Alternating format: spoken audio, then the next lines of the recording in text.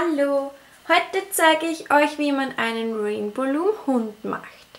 Dazu benötigen wir den Loom, den Haken, 89 Gummibänder für den Hund, 3 Gummibänder für die Augen und die Nase des Hundes, ein Gummiband für die Zunge des Hundes und ein Gummiband für das Halsband des Hundes. Zu Beginn legt ihr den Loom so, dass der rote Pfeil zu euch sieht.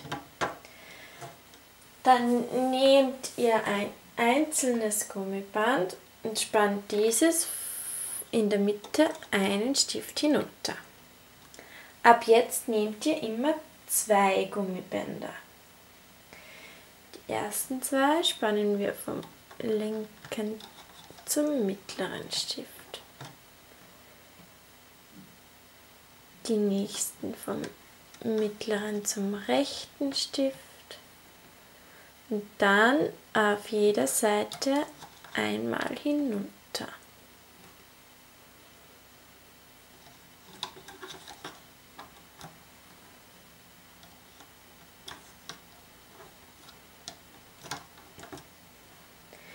Dann gehen wir in der Mitte noch einmal einen Stift hinunter und die anderen zwei Seiten werden jetzt geschlossen. Das heißt, vom linken zum mittleren Stift und vom rechten zum mittleren Stift. Dann kommt der Hals des Hundes. Dazu gehen wir in der Mitte einmal hinunter. Jetzt nehmen wir immer nur ein einzelnes Gummiband. Jetzt machen wir dieselbe Form wie oben. Jetzt einmal hier nur das, den äußeren Rand und nur mit einem Gummiband.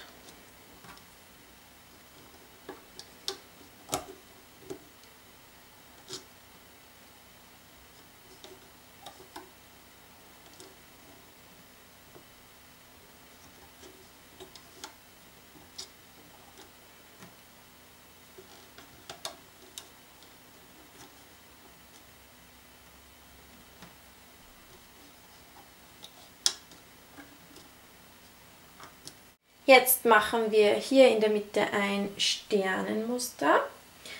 Dazu nehmt ihr jetzt wieder immer zwei Gummibänder. Beginnen wir mal von der Mitte nach oben und jetzt gehen wir im Uhrzeigersinn immer von der Mitte zum nächsten Stift.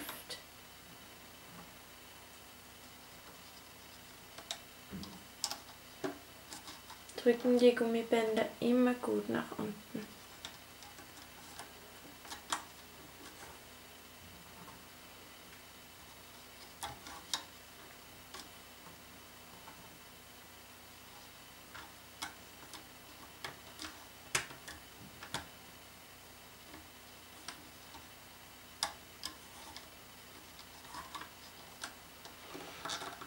Gut, wenn es fertig ist, sollte es dann so aussehen. Und dann machen wir in der Mitte, geben wir jetzt noch ein einzelnes Gummiband dreimal um diesen mittleren Stift.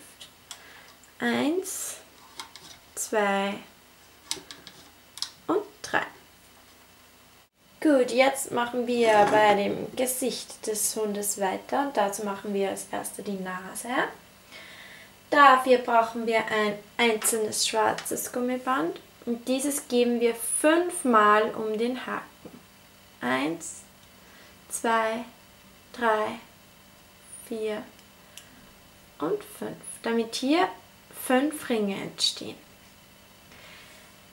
Dann nehmen wir drei Gummibänder von der Farbe des Gesichtes des Hundes die spannen wir beim Haken ein und dann schieben wir die fünf Ringe über den Haken auf, das, auf die gespannten Gummibänder.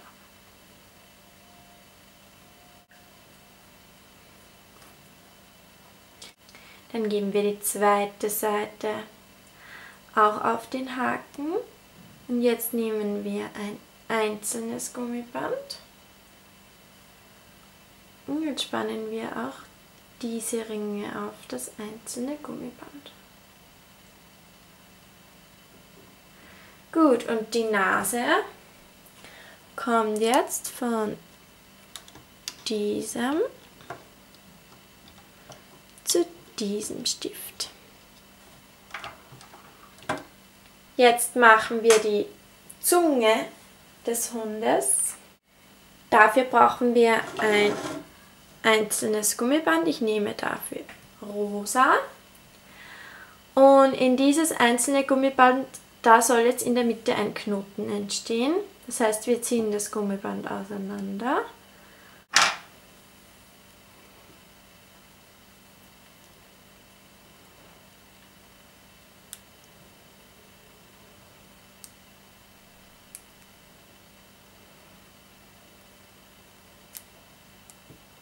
Geht natürlich sehr schwer, da das Gummiband so klein ist. Und wenn ihr den Knoten dann habt, dann schaut ihr, dass der Knoten in der Mitte ist. Dann nehmt ihr wieder den Loom und die Zunge wird jetzt über der Nase auf diesen Stift mit einer Seite eingespannt und die andere Seite, die drückt ihr einfach mit dem Haken nach unten. Jetzt nehmt ihr von der Nase das obere quer gespannte Gummiband, dieses hier und dieses gebt ihr auch um diesen Stift, damit die Nase jetzt über der Zunge liegt.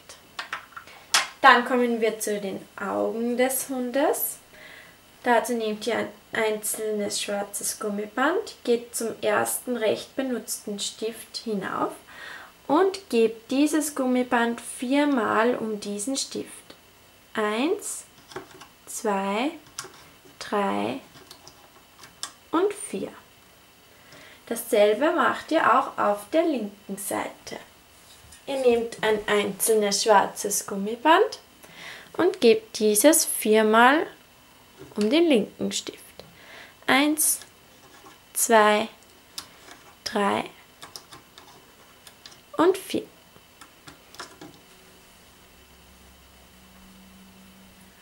Jetzt nehmt ihr ein einzelnes Gummiband in der Farbe des Gesichtes und spannt dieses quer über diese zwei Stifte, wo wir gerade die Augen hinaufgegeben haben. Dann nehmt ihr den Haken Fahrt von außen, holt ihr die schwarzen Gummibänder und gebt diese über den Stift in die Mitte. Und dasselbe macht ihr auch auf der linken Seite von außen die Ringe über den Stift in die Mitte spannen. Damit ein Auge links ist und ein Auge rechts ist. Wenn ihr die Augen dann so habt, nehmt ihr den Haken und dann drückt ihr die gespannten Gummibänder auch einmal um diesen mittleren Stift, damit sich jetzt alles hier auf dem mittleren Stift, damit alles hier zusammentrifft. Und jetzt gehen wir wieder hinunter und wir machen jetzt den Schwanz des Hundes. Und dazu brauchen wir hier unten die freien Stifte. Und dann nehmt ihr zwei Gummibänder und spannt diese einfach bei zwei Stiften ein. Dann noch einmal zwei. Noch einmal zwei. Jetzt nehmt ihr ein einzelnes, zieht es auseinander, formt einen Achter, gebt es noch einmal um den Finger, damit das Gummiband doppelt ist. Das geben wir hier auf den Stift. Jetzt nehmen wir ein einzelnes Gummiband und geben dieses fünfmal um den letzten Stift. Eins, zwei, drei, vier, und 5. Jetzt können wir den Schwanz schon verlumen. Dazu drücken wir die oben gerade gespannten Gummibänder zurück und holen nur die unteren Gummibänder heraus, spannen sie nach vor.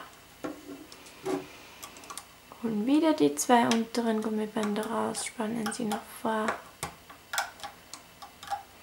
Noch einmal und noch ein letztes Mal. Jetzt gebt ihr die Gummibänder auf den Haken. Jetzt könnt ihr den Schwanz herunterziehen beim letzten vorsichtig mit den Fingern mithelfen, da dieses ja ganz fest ist. Und den Schwanz nehmen wir wieder den Loom. Jetzt, was wir jetzt machen, müsst ihr gut aufpassen. Wir nehmen von diesem letzt benutzten Stift die oberen zwei Gummibänder auf den Haken. Diese zwei. Und auf diese zwei Gummibänder schieben wir jetzt den Schwanz des Hundes so hinauf. Dann geben wir diese zwei Gummibänder wieder auf den Stift hinauf.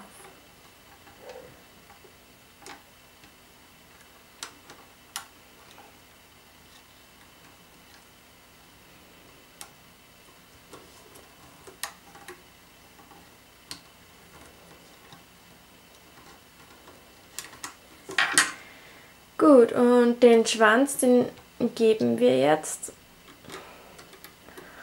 unter die sternförmigen Gummibänder hindurch.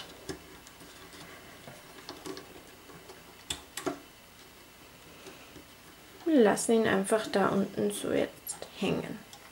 Da wir den Schwanz jetzt dran gemacht haben, können wir schon die, den Stern in der Mitte verlumen.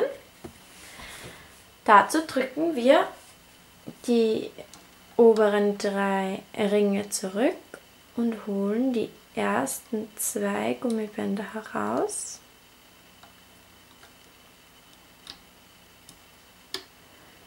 Und geben sie zum Stift zurück, wo sie herkommen. Bei mir ist es der linke obere Stift. Dann holen wir die nächsten zwei Gummibänder heraus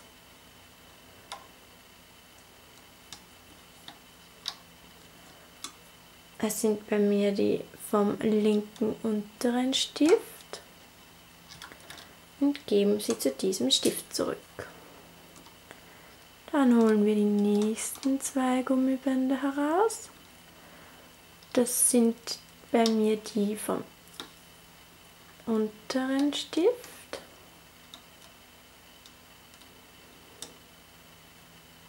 Die nächsten zwei oberen Gummibänder.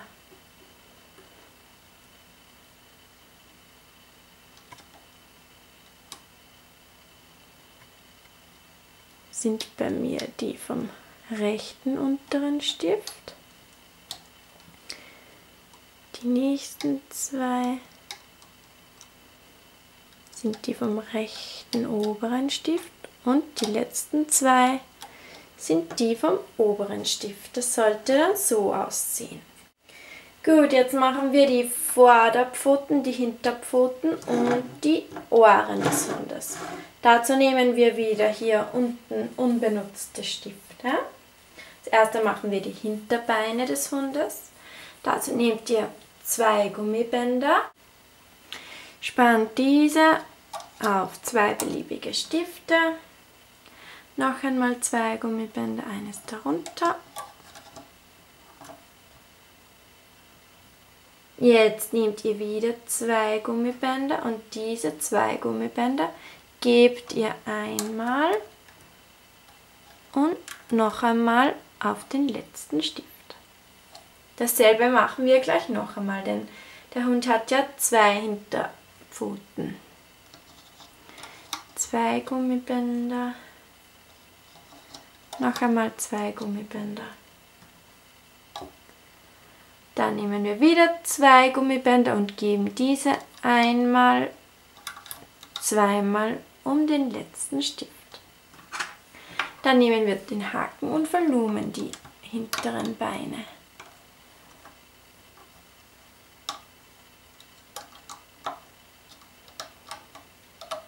Und auch die, link die andere Pfote.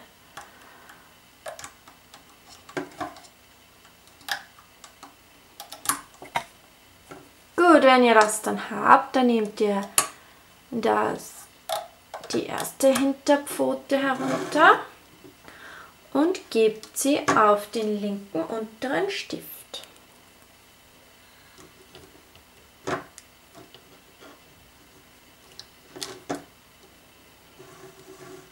Und dann könnt ihr auch das andere runternehmen. Die gebt ihr auf den rechten unteren Stift.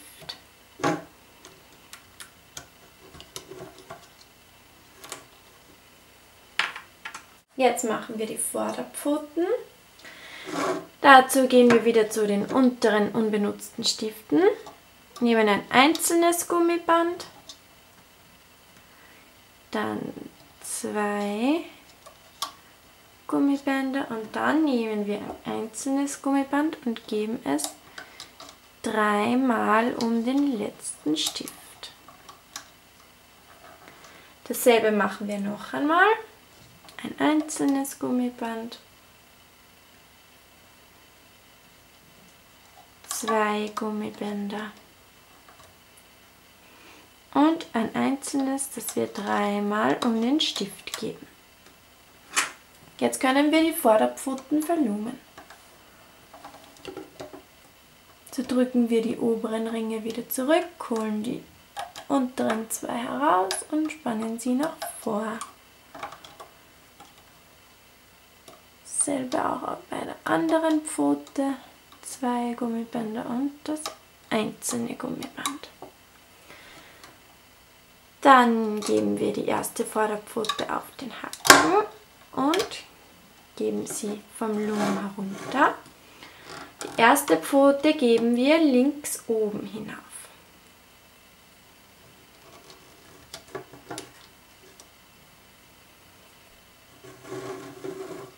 Und die zweite geben wir rechts oben hinauf.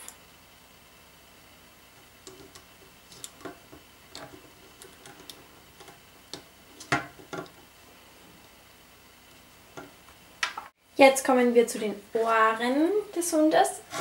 Dazu nehmen wir wieder unter, unten beliebige Stifte. Wir nehmen ein einzelnes Gummiband, geben es auf zwei Stifte. Dann nehmen wir drei Gummibänder.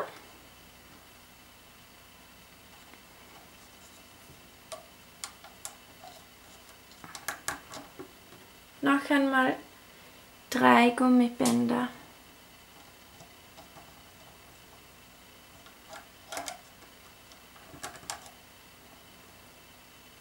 Dann nehmen wir ein einzelnes Gummiband, formen einen Achter, geben es doppelt um den Finger. Dann geben wir das da unten hinauf. Und zum Schluss geben wir ein einzelnes Gummiband viermal um den letzten Stift. Und dasselbe machen wir gleich noch einmal. Ein einzelnes Gummiband, drei Gummibänder,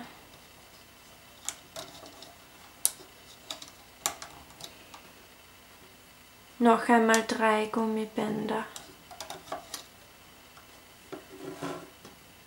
ein einzelnes Gummiband doppelt nehmen und hinaufgeben. Und ein einzelnes Gummiband dreimal um viermal um den letzten Stift geben. Eins, zwei, drei und vier. Dann können wir zum Verlumen der Ohren beginnen. Drücken die oberen vier Ringe zurück, holen die unteren zwei Gummibänder heraus und spannen sie nach vor.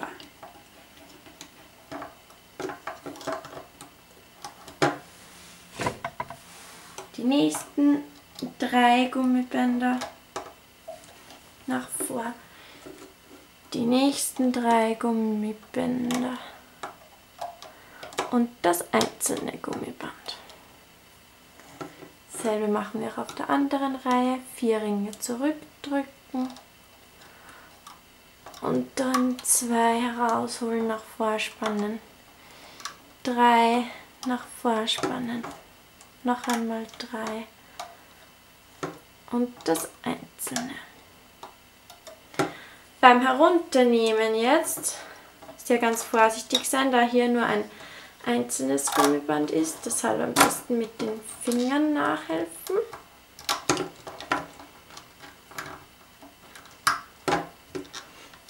Und das erste Ohr geben wir hier mittleren zweiten Stift hinauf. Lassen es einmal auf diese Seite schauen und dann gehen wir hinunter und nehmen das zweite Ohr herunter, ganz vorsichtig.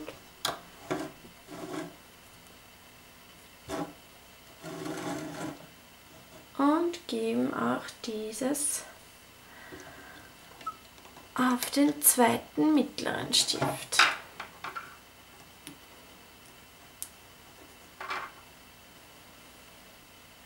können wir auch schon zum Volumen beginnen. Dazu gehen wir zum mittleren untersten Stift hin. Wir drücken die oberen vier Ringe zurück und holen das erste Gummiband von unten heraus. Das geht zum linken Stift. Dann gehen wir hier gleich unter die ganzen Beine und alles und holen nur das ganz untere Gummiband heraus.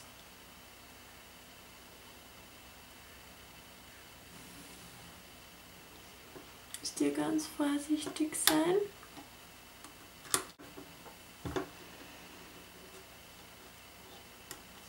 Und spannen dieses auf den vorderen Stift. Dann holen wir hier das einzelne untere Gummiband heraus spannen es über den mittleren Stift. Dann gehen wir wieder zum untersten Stift, holen das einzelne Gummiband und spannen es über den rechten Stift. Dann gehen wir zum rechten Stift, drücken alle Gummibänder zurück, holen nur das einzelne untere Gummiband heraus,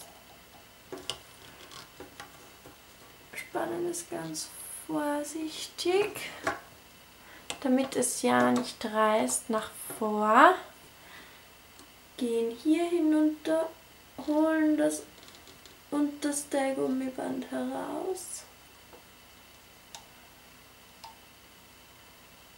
spannen es nach vor. Gut, und der mittlere Teil eures Hundes sollte jetzt so aussehen. Hier immer die gespannten Gummibänder, sieht man hier jetzt ganz gut. Dann können wir beim Nacken des Hundes weitermachen. Dazu fahren wir hier mit dem Haken hinein, drücken alle Gummibänder zurück und holen nur die unteren zwei Gummibänder heraus und spannen sie auf den vorderen Stift. Dann holen wir hier angekommen die zwei oberen Gummibänder heraus, spannen sie auf die rechte Seite. Da habe ich einmal eines und das zweite.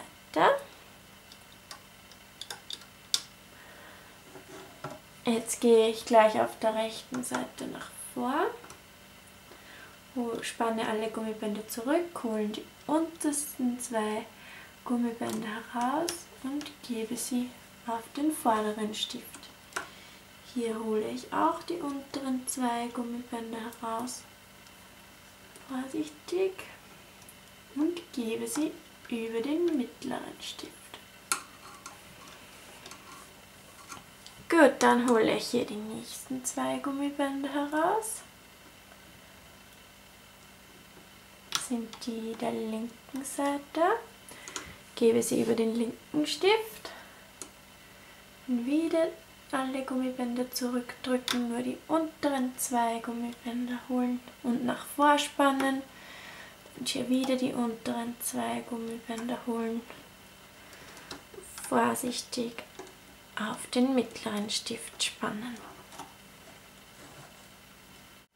Gut, und dann gehen wir wieder zum mittleren Stift zurück.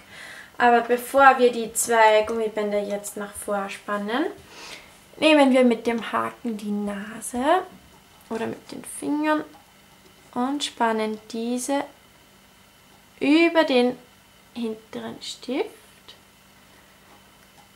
Dann nehmen wir den Haken und spannen diese zwei Gummibänder auf denselben Stift. Jetzt holen wir mit dem Haken die Nase dass sie hier so herauszieht. Ah, die Zunge ist das, dass sie hier so herauszieht. Dann geben wir die Nase wieder zurück, damit wir auch die letzten zwei Gummibänder lumen können. Dazu drückt ihr jetzt das quergespannte Gummiband von den Augen zurück, holt nur die unteren zwei Gummibänder und spannt diese auf den vorderen Stift. Und jetzt, hier oben angekommen, holen wir das eine untere Gummiband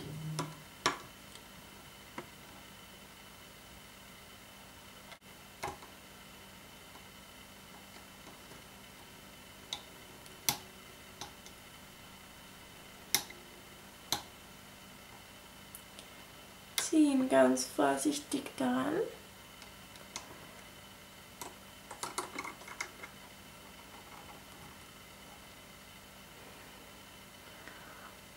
Spannen es auf den vorderen Stift.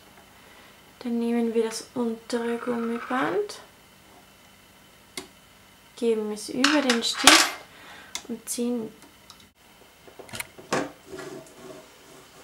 dann entsteht hier ein Knoten und dieser Knoten hält den ganzen Hund zusammen. Daher ganz vorsichtig sein. Das Gummiband gebt ihr am besten, also die Schlaufe am besten auf euren Finger und dann können wir den Hund vom Loom herunterlösen. Dazu verwende ich den Haken und beginne von unten.